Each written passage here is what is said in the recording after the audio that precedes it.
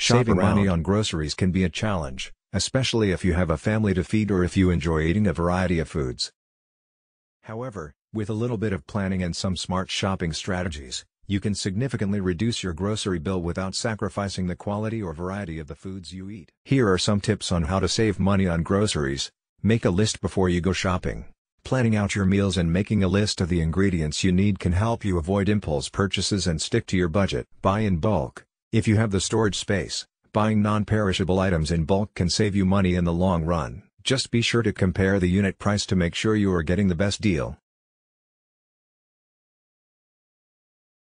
Don't just stick to one grocery store. Check out the prices at different stores and see where you can get the best deals. Don't forget to also check out discount stores, farmers markets, and online grocery delivery services, which can often offer lower prices than traditional supermarkets. Use coupons and take advantage of discounts. Look for coupons in the newspaper, online, and on products themselves. Many stores also offer discounts for purchasing items in bulk or for buying generic or store brand products. Plan your meals around what's on sale.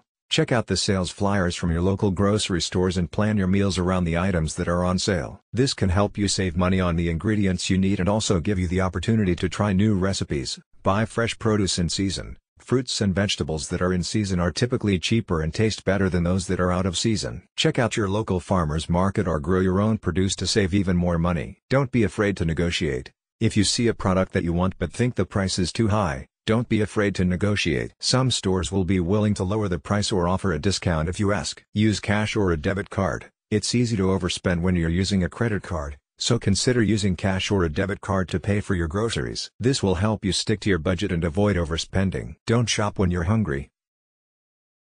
Try to shop after you've eaten a meal so that you can make more rational decisions about what to buy.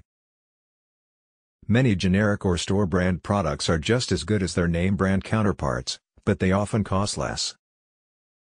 Don't be afraid to try generic or store brand products.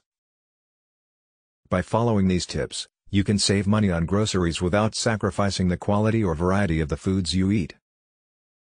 Don't be afraid to try them out and see if they work for you. It may take a little bit of extra effort, but the money you save can be significant and well worth it.